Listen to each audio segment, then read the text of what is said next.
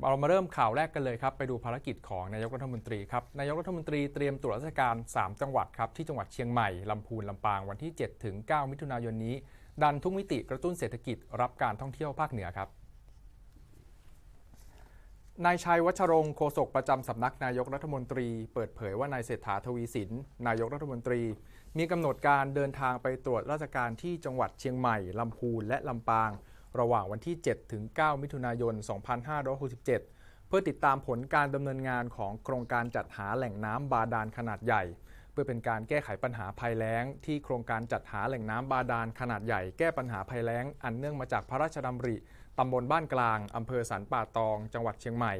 เยี่ยมชมโครงการคลองสวยน้ำใสคนไทยมีสุข เพื่อแก้ไขปัญหาคุณภาพน้ำที่ไม่เหมาะสมต่อการอุปโภคบริโภค